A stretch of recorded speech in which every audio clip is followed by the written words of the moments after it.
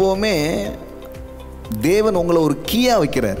நீங்கள் தான் திறவுகோல் என்று நான் உங்களுக்கு சொல்லுகிறேன். You are the key person மறுபடியும் சொல்றேன் you are not someone நீங்கள் ஏதோ கூட்டத்தில் ஒரு கூட்டத்தில் ஒரு ஆள் அப்படி கிடையாது.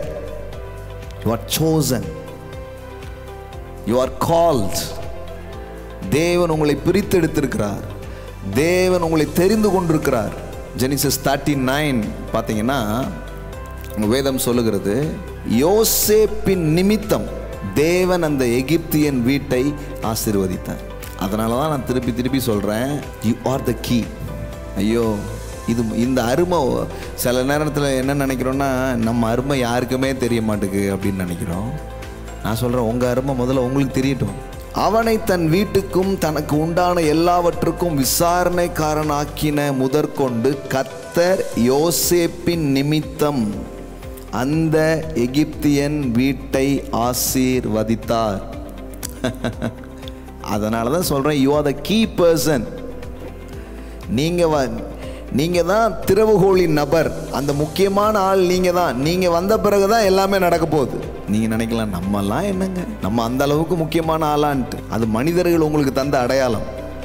நீங்கள் முக்கியம் இல்லாதவர்கள் என்று என்பது மனிதர்கள் உங்களுக்கு தந்த அடையாளம். ஆனால் தேவன் உங்களுக்கு தருகிற அடையாளம் you are the important person you are the key person you are a chosen அப்போ என்ன அருமையாக போட்டிருக்கு பாருங்க. யோசேப்பின் நிமித்தம். அங்கே என்ன படித்தோம் மேத்யூவில் தெரிந்து கொள்ளப்பட்டவர்கள் நிமித்தம். நாட்கள் குறைக்கப்படுகிறது.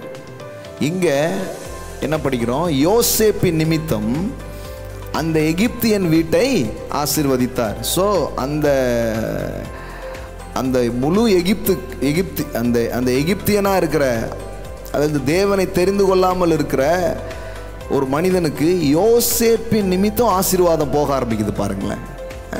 அப்போது அப்போ நீங்கள் ஆசீர்வதிக்கப்பட்டவர்கள் நீங்கள் எங்கே போய் நிற்கிறீங்களோ அங்கே உங்கள் நிமித்தம் சிலருக்கு ஆசீர்வாதம் என்ன பண்ண ஆரம்பிக்கும்? உண்டாக ஆரம்பிக்கும். அதனால தான் சொல்கிறேன் you are the key person உங்களோடு இணைகிறவர்கள் ஆசீர்வதிக்கப்பட்டவர்கள்.